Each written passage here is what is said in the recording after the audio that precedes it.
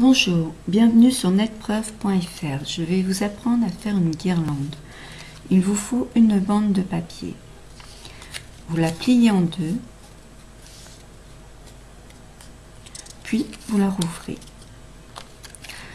Vous pliez cette partie-là au centre.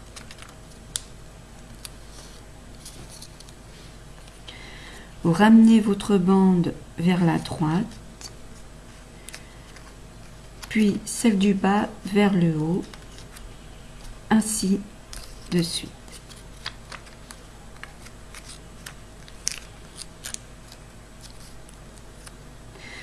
Vous découpez les beurres qui dépassent, puis vous mettez un brin de colle et vous collez.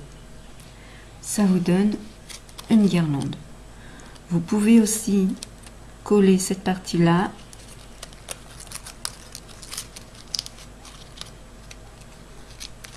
Et voilà une étoile que vous pouvez mettre dans le sapin.